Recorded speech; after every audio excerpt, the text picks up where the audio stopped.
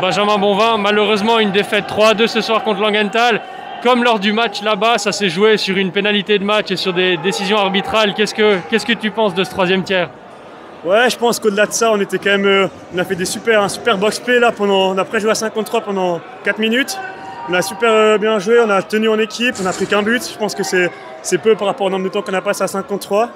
Puis après, bah, on, a, on a voulu montrer une réaction, on a eu des chances en power play qu'on a, qui sont pas rentrées. Puis euh, ouais, c'était un match important, mais il faut regarder le prochain. C'est vrai que dans le public, on aurait pu penser que cette accumulation de pénalités, ça allait vous tuer, mais finalement, vous avez réussi à revenir, même s'il n'y a pas les trois points au bout. Où vous avez trouvé cet état d'esprit pour revenir comme ça dans le match, alors que tout allait contre vous? Ouais, ben, je pense que quand on montre euh, un esprit d'équipe comme ça à 53, qu'on arrive à tenir euh, en encaissant qu'un but, je pense que ça, ça fait du momentum à toute l'équipe, ça donne envie de, de, de remonter puis d'aller gagner ce match, mais euh, malheureusement, ça n'a pas suffi cette fois. Merci beaucoup, Benjamin, et bonne fête de fin d'année.